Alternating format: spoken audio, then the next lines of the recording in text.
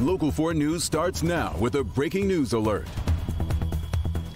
We are following breaking news out of Western New York, where author Salman Rushdie has been attacked on stage as he was about to give a lecture. An Associated Press reporter witnessed a man storm the stage and begin punching or stabbing him as he was being introduced. We are told that the man was restrained and that Rushdie's condition is not known at this time. The venue has been evacuated. The 75 year old author's writing led to death threats from Iran in the 1980s after he wrote the Satanic Verses.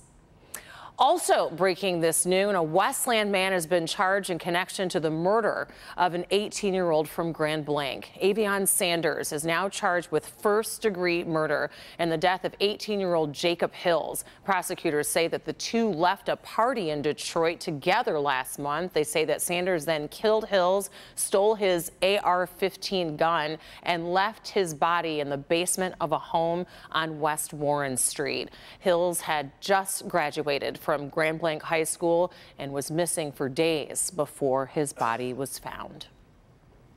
Testimony continues today in the second trial for the two men accused of plotting to kidnap Governor Whitmer. An FBI agent has been on the stand in the trial of Adam Fox and Barry Croft Jr. That agent is being grilled on how the agency uses confidential informants. Our Shawn Ley has been there listening in on all of the developments. What's the update this noon, Sean?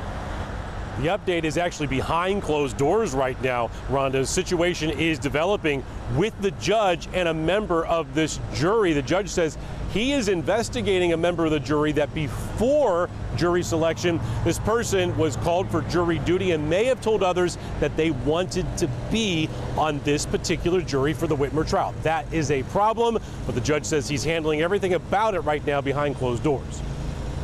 The U.S. District Judge presiding over the Whitmer kidnapping retrial filing this restricted access order today, looking to take control of an issue raised by the attorney for defendant Barry Croft that there already may be misconduct by a juror. The trial is only in its third day of testimony, misconduct that could bring the trial to a screeching halt. Judge Robert Jonker outlining the situation by writing that he has been addressing a juror issue behind closed doors. An investigation into the alleged misconduct is underway, and the judge spoke with that juror, but apparently without prosecutors and defense attorneys present at that meeting. It's a juror issue Judge Jonker describes as a fluid and unfolding situation, but an issue that the judge wants to handle outside of the public courtroom. Judge Jonker writing, quote, for now, the court expects to continue addressing the situation in non-public hearings and filings while the case is pending to limit the risk of mistrial. Back here live, nothing in the judge's filing indicated that he removed this juror and put in an alternate right now. So, for all intents and purposes, this particular juror under investigation is right in that jury box right now. Rhonda, you also mentioned these confidential informants working for the FBI. We're working on more of this story uh, for later, uh, Local 4 News starting at 4 and 5 o'clock. And one of the uh, informants, uh, the FBI admitting today on the stand, smoked marijuana with these defendants, and one also slept in the same bed as defendant Barry Croft. Why they said that was happening, we have that for you. Those details at 5 o'clock. Back to you. All right. We look forward to those updates later today, Shawn. Thank you. In the meantime, we want to talk to Paul about our forecast and these cooler, more comfortable temperatures. Paul? I'll tell you what, this is a fine, finally Friday. We are looking at temperatures now rising nicely. 77 in Detroit. Same thing in West Bloomfield. 74 Livonia, 72 Canton, 74 Metro. Mount Clemens at 74. Sterling Heights lagging behind a little bit there at 71 degrees. In our south zone, 74 Carleton, 73 Dundee, 76 over in Saline. And in our west zone, we have 72 in Whitmore Lake.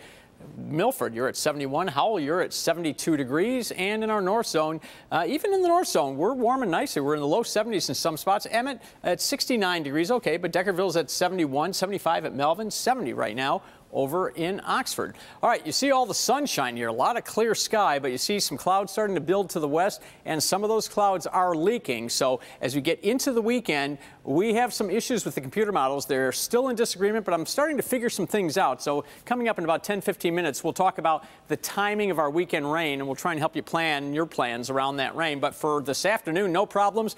Hey, the Lions they're starting things off with the first uh, preseason game, and it is going to be perfect for the tailgate. I mean, absolutely perfect. 80 around the uh, start of the tailgate, falling through the 70s during the game. I'll be back again with that uh, weekend update in just a few minutes.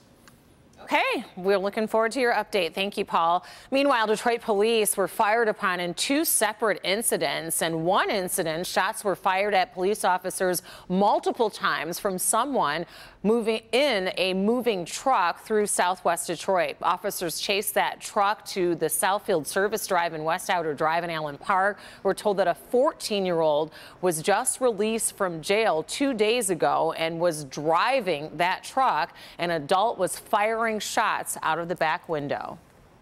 Enough's enough. We, we got to do something with uh, the back end of our criminal justice system. We can't keep locking up these people that are danger to our our community, the citizens. And then just two nights later, we're back involved here. They were both arrested along with another teenager. In another incident, police need your help. Looking for a man who shot at Detroit police officers on Thursday night. The area where it happened is near the Lodge Freeway in McNichols and, Birwood. Police say that they heard shots firing at another vehicle and tried to make a traffic stop. Three men inside of the car then made a run for it and crashed into this church before taking off on foot. One suspect then asked a mother arriving home with her children to let him ride in her home, let him hide in her home. That's when she said no, and he took off in her SUV. Again, police are still looking for the man who shot at officers and stole this woman's car. Former President Trump said that he is encouraging the immediate release of documents connected to the search on his Mar-a-Lago home in Florida. The warrant could be unsealed as early as today. The former president said that he does not oppose a federal court in Florida unsealing a search warrant. According to the Washington Post, the search is tied to nuclear weapons. Trump's statement came after Attorney General Merrick Garland has asked a judge to release information from the warrant and details about what was seized. The department filed the motion to make public the warrant and receipt in light of the former president's public confirmation of the search, the surrounding circumstances, and the substantial public interest in this matter. Trump's legal team has until 3 o'clock this afternoon to formally respond in court to the Justice Department's filing. GM's Lake Orion assembly plant reopened this morning after a murder uh, inside of that plant happened on Thursday, and we are expecting to learn about possible charges later today.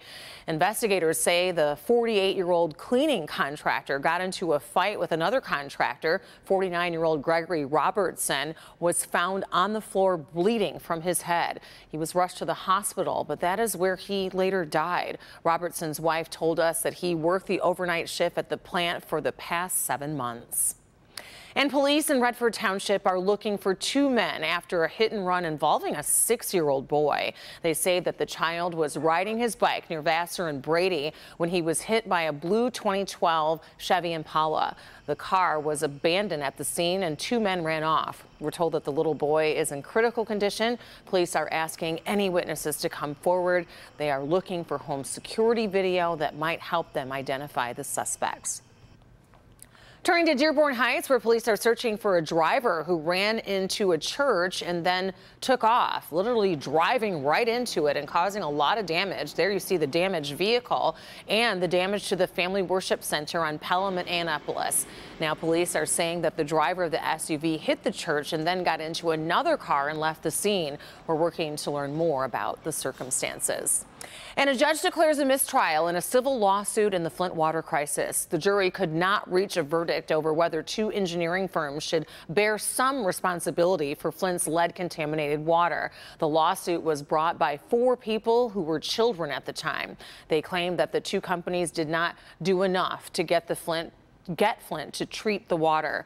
Attorneys for the company say that they were lumped in with bad actors, saying that state and local officials controlled the major decisions about the water. The trial can be held again with a different jury.